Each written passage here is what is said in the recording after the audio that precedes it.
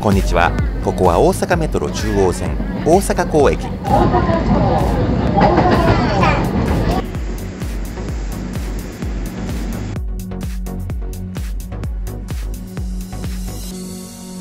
この大阪港駅のすぐそばには大観覧車や海遊館など大阪有数の行楽地天保山ハーバービレッジがあります。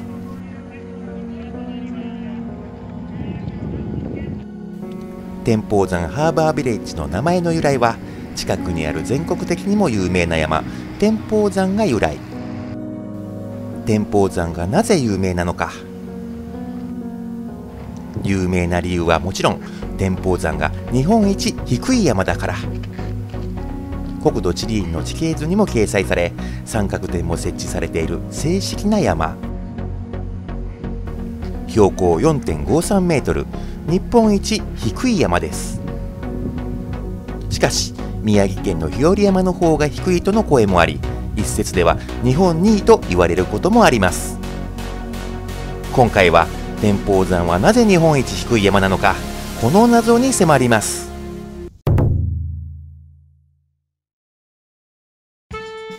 大阪の水運を担う巨大な川安治川のほとりにある天保山。実は昔から天保山があったわけではありません。なんと天保山は人工の山なのです。時代は江戸時代安治川の川底にたまり続ける土砂で安治川を船が通るのに支障が出始めました。そこで天保2年約2年かけて川底をさらって土砂を取り去る浚渫工事が行われることとなります。延べ10万人が動員され人力で小舟で川底の土砂をすくい上げ川底に土砂を積み上げていきました。積み上げられた土砂はなんと20メートルもの高さになりまるで山のようになりました。こうして天保時代にできたこの山は時の元号から天保山と呼ばれるようになります。天保時代に作られた山だから天保山。しかも当初は20メートルもの高さがあったのです。天保山の周辺には町ができ天保山には木も植えられ茶屋なども設置。大阪有数の行楽地となっていきます。当時の船遊びをする人々の様子は歌川広重や葛飾北斎などによって浮世絵にも描かれています。天保山が今も行楽地なのは天保時代からの伝統とも言えますね。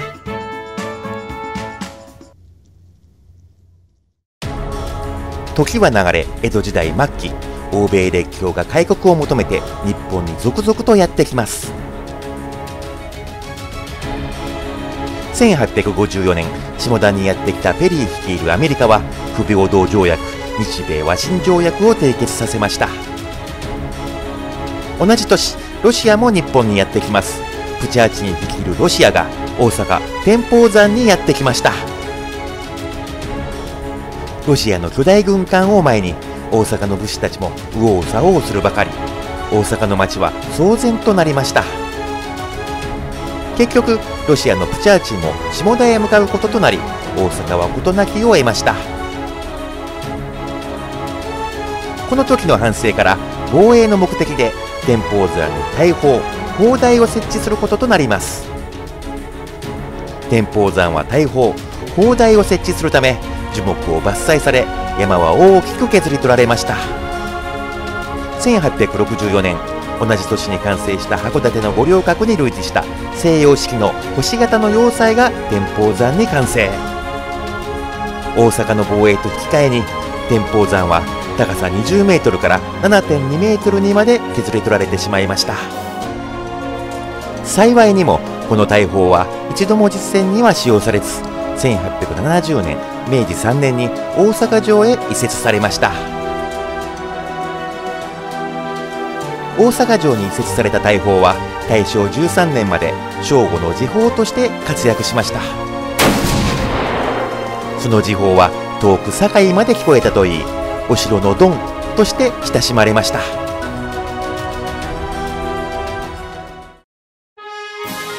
砲台が撤去された天保山。明治になると一帯が近代的な公園として整備され始めます。1888年明治21年天保山砲台跡に海水浴場や保養所魚釣り場などを持つ私立の天保山遊園が開園。大阪のウォーターフロントリゾートの先駆けとなります。しかし大阪港の拡張工事のため開園からわずか9年1897年明治30年遊園地は閉鎖となります。代わりに大阪港が近代化。大阪の発展の基礎が作られます。1911年明治44年国土地理院の前身陸地測量部が天保山を測量。標高7.1メートルとして三角点を設置します。この時点で砲台が設置された江戸時代末期から天保山はさらに10センチも低くなっていたことが分かりました。この時の原因は不明です。測量の誤差か遊園地の設置や撤去に伴うものかもしれません。それはともかく大阪の街はどんどん発展し続けます。時は流れ昭和30年から40年代戦後の高度経済成長期。天保山の周辺は巨大な工場地帯となります。その頃の工場は地下水をガンガンに汲み上げて使っていました。うん。なんということでしょう。地下水の汲み上げにより地盤沈下が発生。明治時代に7.1メートルあった天保山の標高は昭和52年に4.7メートル昭和62年には4.53メートルにまで低下。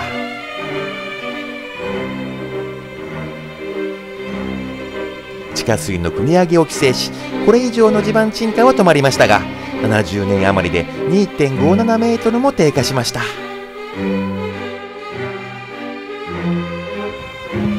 この結果天保山は標高4.53メートルしかない日本一低い山となりました。ちなみに天保山には山岳救助隊が存在します。幸いにも救難要請は過去一度も出ていないとのことです。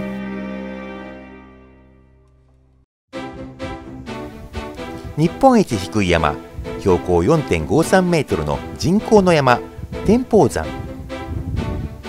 人工の山なのに日本一低い山と言っていいものでしょうか。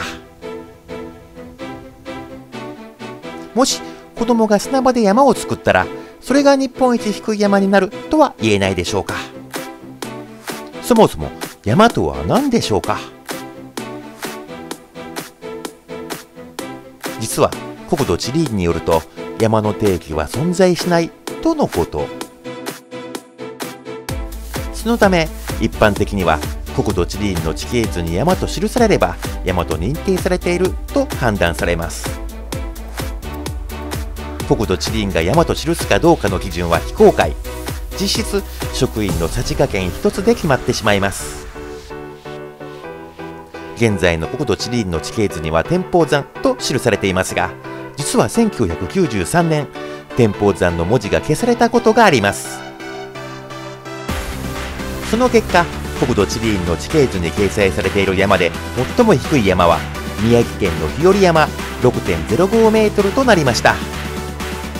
ちなみに日和山も人工の山。別に山の高さが変わったわけではないのに日和山が地形図に載っている日本一低い山となりました。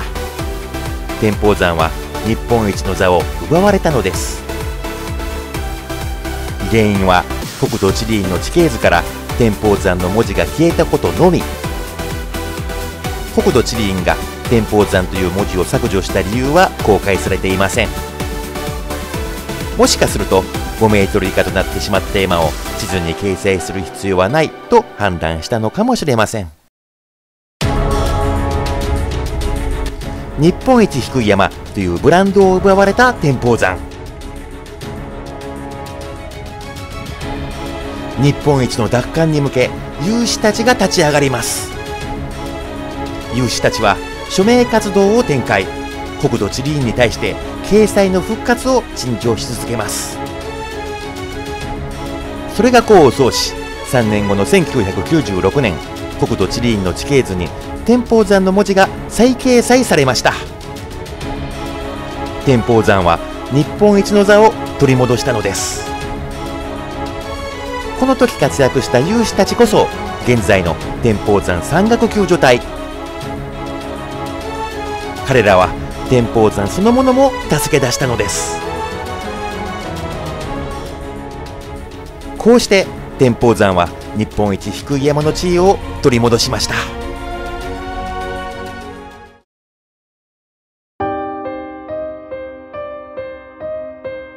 2011年3月11日東日本大震災発生。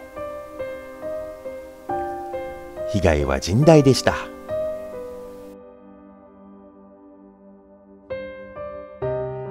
日和山は津波により消滅。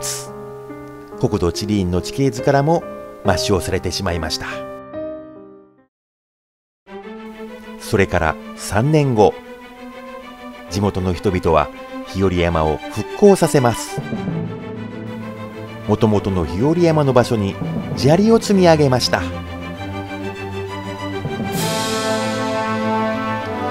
復興した日和山。もともとの高さ6.05メートルの半分。なんと3メートルの日和山が誕生しました。2014年4月国土地理院の地形図に日和山が再度掲載。標高3メートル。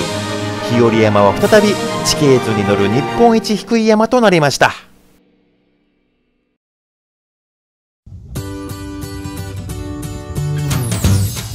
2014年標高3メートルとなった日和山が地形図に再度形成されたことで日本2位の低い山となった天保山。しかし天保山は今も日本一低い山と名乗っています。の理由は三角点がある山だから。日和山に三角点はありません。天保山は三角点がある山として日本一低い山。三角点とは国土地理院が管理する三角測量の基準となる経度移動を記した場所で山頂に設置されます。この三角点のある山としてなら今でも天保山は間違いなく日本一低い山なのです。天保時代に作られた高さ20メートルの人工の山天保山。歴史に振り回され高さは4.53メートルにまで低下しました。逆に日本一低い山というブランドを手に入れるも今度はその日本一をめぐって日和山との争奪戦も展開。結果的に天保山も日和山も共に日本一の山として有名になりました。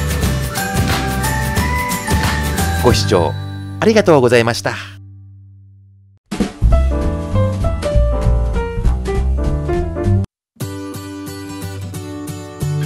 日本一高い山は富士山ですよね。これに異論のある人はいないでしょう。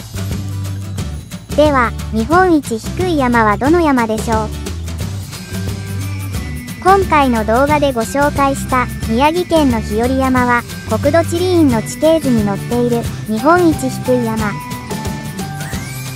同じく今回ご紹介した天保山は三角点のある山として日本一低い山。実は他にも日本一低い山があります。そのうちのいくつかをご紹介します。徳島県の弁天山は国土地理院の地形図に載っている自然の山として日本一低い山。大阪府堺市の蘇鉄山は一等三角点のある山として日本一低い山。山口県の笠山は火山として日本一低い山。